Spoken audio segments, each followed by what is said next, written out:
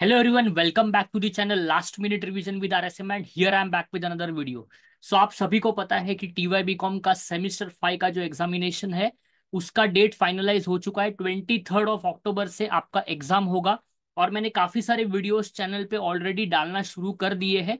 तो I hope कि आपने वो सारे वीडियोस रिवीजन के रिलेटेड वीडियोस आप चैनल पे देखते होंगे और उससे आपकी प्रैक्टिस अच्छी तरीके से चलती होगी।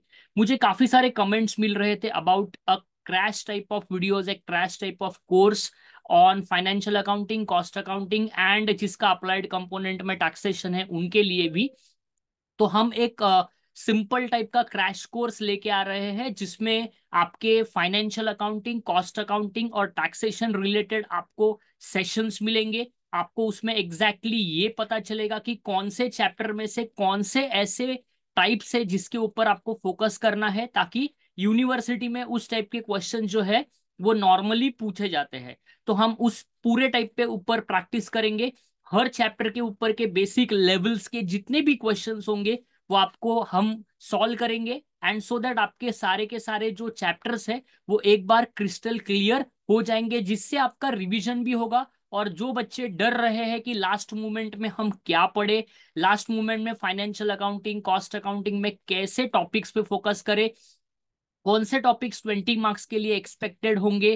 कौन से टॉपिक्स एट सेवन मार्क्स में एक्सपेक्टेड होंगे? ये सारी चीज़ें आपको उसमें डिटेल में हम डिस्कशन करने वाले हैं। और ये जो क्रैश कोर्स है, इसका एनरोलमेंट स्टार्ट हो चुका है।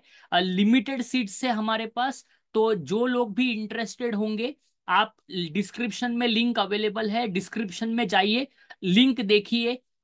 एक सिंपल जो कंसेप्ट हम फॉलो करने वाले हैं, हम वहाँ पे चैप्टर वाइज रिवीजन करने वाले हैं चैप्टर वाइज लेवल्स के ऊपर हम फोकस करने वाले हैं एंड उसमें आपको सारे टाइप के एडजस्टमेंट्स भी हम वहाँ पे सॉल्व करने वाले हैं। तो आपको करना क्या है? एकदम सिंपल है।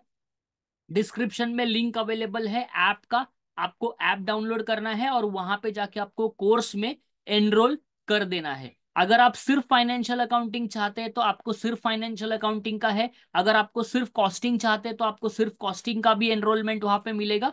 और अगर आप तीन कॉम्बो चाहते हैं फाइनेंशियल अकाउंटिंग कॉस्ट अकाउंटिंग और तीसरा एक सब्जेक्ट है, जो है applied component that is taxation तो उसके भी आपको सेशन जो है, वो मिलेंगे। तो अकॉर्डिंगली बेसिकली यहाँ पे हमको ये सारी चीज़ों, चीज़ें जो है, उसके ऊपर फोकस करना है, ताकि ओवरऑल जो आने वाली एग्ज़ाम आपकी होगी उसमें आपको काफ़ी अच्छी तरीके से प्रिपरेशन भी आपके होंगे और आपको मार्क्स भी मिले, मिलेंगे। तो उसी तरीके से हमको या, ये जो भी आपके रिवीजन सेशंस है, वो आपको मिलेंगे। और चैनल पे भी आपको शॉर्ट वीडियोस मिलते रहेंगे। प्लेलिस्ट मैंने ऑलरेडी डाल रखी है।